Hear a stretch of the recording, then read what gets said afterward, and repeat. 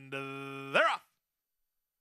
Inside, Invective was away cleanly, splitting horses and on to challenge is Chapaloo, and Chapaloo's going to land the advantage for Zayas in the run to the first turn. From the outside, Indy Lion won't let him get far, and Uno Tiger is away third.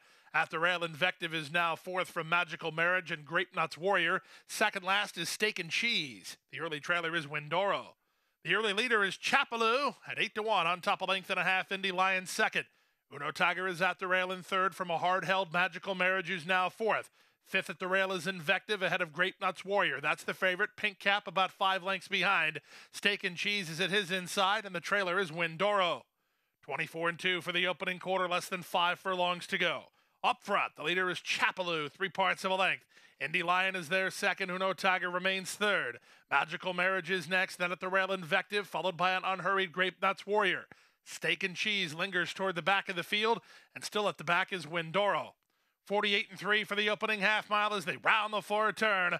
Chapaloo in a bid to make all has the lead by half a length. Indy Lion is second. Uno Tiger is third. Invective is fourth. Steak and Cheese begins to warm to the task. Grape Nuts Warrior needs to do a ton better than that as they race to the top of the stretch. Three quarters, 112 and 1. Chapaloo turns first with the lead. From the outside, it's Indy Lion. Off cover, it's Steak and Cheese. Down the center, and Grape Nuts Warrior. Eighth of a mile to go. Chapaloo is in front. From the outside, Grape Nuts Warrior to finish up now. From between an Uno Tiger, here comes Grape Nuts Warrior surging. Grape Nuts Warrior.